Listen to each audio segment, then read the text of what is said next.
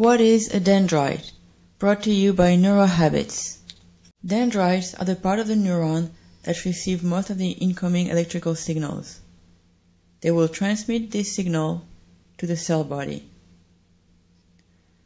Some dendrites have also been found to be able to release neurotransmitters. If we look at a neuron from above, as in this picture of a Purkinje neuron, we can see the whole dendritic network.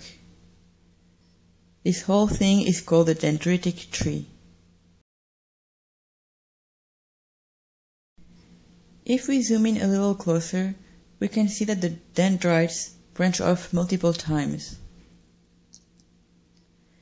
Every point where one dendrite branches into two segments is called a bifurcation. It's possible to count the bifurcations. The first time one dendrite branches into two segments is called the first bifurcation.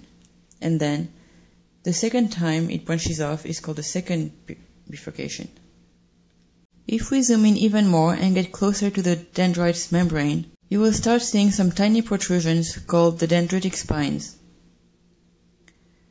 These generally look like lollipops with a big head and a thinner neck. The dendritic spines provide an increased surface area for adjacent synaptic terminals to synapse on. They are thought to be involved in learning and memory. That's it for this video, and as always, you can jump to www.neurohabits.com to read the full article.